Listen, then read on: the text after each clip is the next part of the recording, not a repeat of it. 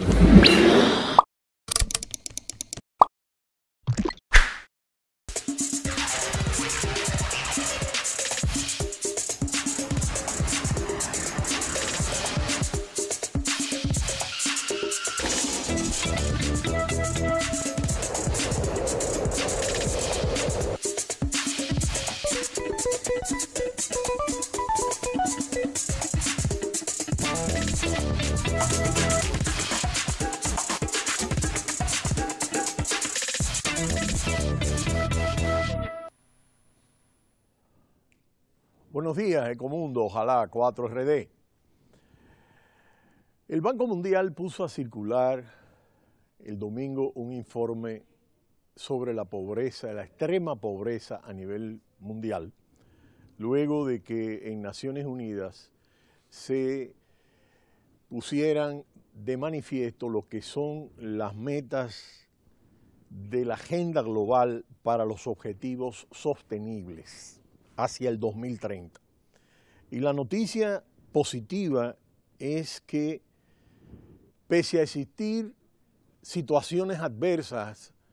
en el marco de la economía mundial en torno a guerras, conflictos, eh, insalubridad, eh, pobreza, más de mil millones de personas han logrado salir de la pobreza extrema desde 1990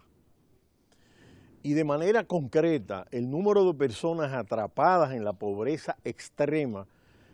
este año del 2015 se estima que se va a reducir en 702 millones de personas. Estas personas viven con menos de 1,90 dólares al día. Y este es un punto importante. El Banco Mundial ajustó de 1.25 la línea de pobreza de extrema pobreza a 1.90 y este fue un punto de referencia que no se había logrado desde el 2008. Los más necesitados del planeta en este momento en extrema pobreza representan el 9,6% de la población mundial y por primera vez disminuyen del 10%, es decir, de los dos dígitos.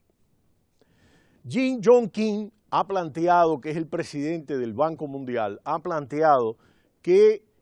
dentro de este entorno positivo, pese a haber un clima de desaceleración de la economía global, como hemos visto, y algunos aspectos adversos, es un hecho positivo,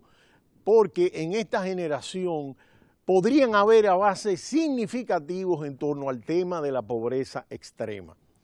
Desde el 2012 hasta el 2015, en el que la pobreza estaba situada en 12,8%, al 2015 que está situada al 9,6%, 200 millones de personas salieron de la extrema pobreza. En 1999 esto alcanzaba casi el 30%, el 29%. Y esto se explica fundamentalmente por el crecimiento en las economías en vías de desarrollo y emergentes, que fueron las que permitieron, luego de la crisis del 2007-2008, que la economía mundial tuviese un ritmo de crecimiento mucho más alto.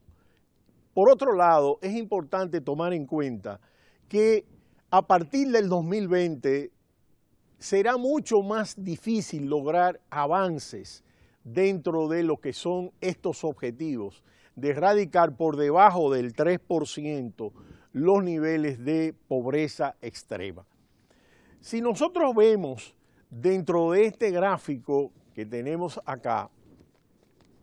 nosotros podemos situar cómo ha disminuido el nivel de pobreza desde 1990 en la gráfica izquierda, que eran 1.958 millones de personas, disminuir a 1.747 millones de personas, que era el 29% en 1999, 987 millones de personas, 14,2% en el 2011,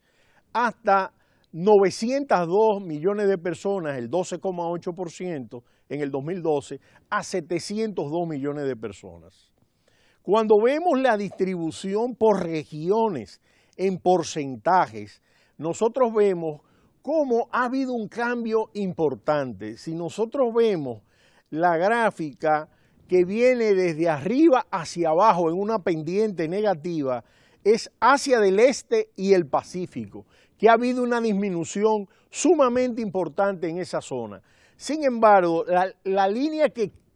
va pendiente positiva hacia arriba es la África subsahariana, donde se ha incrementado de manera notable la pobreza a nivel mundial. La gráfica que está en el centro va a niveles de alza, pero luego disminuye, que es la África del Sur. Y en la gráfica de abajo es la parte relativa al resto del mundo. Cuando nosotros vemos estos detalles, lo que estamos dándonos cuenta es que la concentración de la pobreza global en las últimas dos décadas se ha trasladado de Asia hacia el África subsahariana. En 1990, el 50% de la población de extrema pobreza estaba en Asia y en el África subsahariana apenas un 15%. Mientras en el 2015 el 15% está en Asia y el 50% está en la África subsahariana. Esto quiere decir que ha habido una inversión, es decir, un traslado. Lo que había en Asia en 1990 se ha trasladado al África subsahariana. Por otro lado, es importante tomar en cuenta dentro de Asia que en China ha habido una salida importante de pobres a medida que el ritmo, esta es el África, el Asia que ha tenido una mejora, que es esa parte de la Asia Oriental que ha disminuido mientras el África subsahariana ha tenido el incremento notable. Si vemos como conjunto dentro del planeta, en Asia Oriental y el Pacífico ha habido una disminución del 7,2% al 4,1% desde el 2012 al 2015. En Latinoamérica de 6,2% se ha disminuido al 5,6%. En el sur de Asia de 18,8% ha habido una reducción al 13,5%. Y en el África subsahariana, que es donde está concentrado en este momento el bolsón más grande de pobreza a nivel mundial, de 42,6% en el 2012, se ha disminuido a 32,5% en el 2015. Dentro del África subsahariana, que es la región donde la pobreza extrema no puede salir al ritmo que ha estado saliendo dentro de las otras regiones del mundo, cabe destacar los dos países que son afectados con mayor nivel de intensidad. En el caso de Madagascar y en el caso de la República Democrática del Congo, son dos zonas muy afectadas donde el 80% de las personas viven en la pobreza extrema, es decir, por debajo de 1.90 dólares. Y en este caso, dentro de esta región se acumulan 347 millones de personas viviendo bajo el nivel de extrema pobreza, mientras en Asia Meridional 231 millones de personas, mientras en el Pacífico Asiático unos 83 millones de personas, para situar más o menos entre esas cifras el 95% de la pobreza a nivel global. El punto positivo a resaltar en este momento de los 7.300 millones de personas que habitamos el planeta es que ha habido un avance importante que tiene que ver sobre todo con las políticas de inversión en educación, en salud, en mejoras a las políticas de protección social. Esto implica una acción global para tratar de mantener este nivel de acción de las políticas públicas que es un aspecto relevante. América Latina ha tenido un avance significativo dentro de estos avances para sacar de la pobreza extrema a importantes contingentes de la población. Y en un momento donde existen una tendencia adversa de la economía mundial, que los países de las economías emergentes y en vías de desarrollo habían logrado desde la crisis del 2008 tasas de crecimiento elevadas que habían logrado elevar el ritmo de crecimiento global, en este momento la situación es mucho más adversa para estos países y existe el peligro de que puedan volver hacia atrás, al igual que en otros países del mundo, situaciones de extrema pobreza. Este indicador lo que nos dice es que en vez de cortar aquellos aspectos importantes del gasto social orientados hacia la pobreza extrema, lo fundamental es evitar que la caída del ciclo económico pudiera recortar estos gastos sociales en aquellos aspectos fundamentales de las políticas de educación, de salud, que son elementos centrales que van a mantener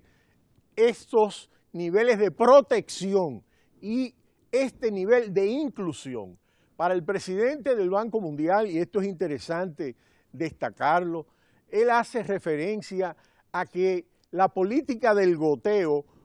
que solo a partir del crecimiento económico pueda redistribuir y mejorar la extrema pobreza, se ha verificado que no es el aspecto fundamental para reducir la población de la pobreza extrema, sino que es fundamental introducir políticas inclusivas que a través de la protección social pueda lograr que programas de impulso de la educación, de la salud y de la mejora de las condiciones de salubridad de la población puedan permitir que estos contingentes puedan salir de esa condición de extrema pobreza. De manera que es alentador, pense a los síntomas adversos que existen en este momento sobre la economía mundial, que haya, se haya dado esta reducción de 200 millones de personas desde el 2012 al 2015 que han salido de la pobreza extrema. Lo que quiere decir que hacia el 2030, pese a los elementos de adversidad que en este momento se centran sobre la economía mundial, pues los gobiernos mantengan políticas coherentes en términos de la protección social y que esto pueda ser una medida contracíclica que limite lo que es el efecto que viene desde las caídas de los choques de materias primas y se puedan preservar el gasto social para lograr que estos avances en pobreza extrema se puedan garantizar hacia adelante. Pero será hasta mañana cuando vuelva Ecomundo, ojalá 4RD. No le cambie, cita cultural.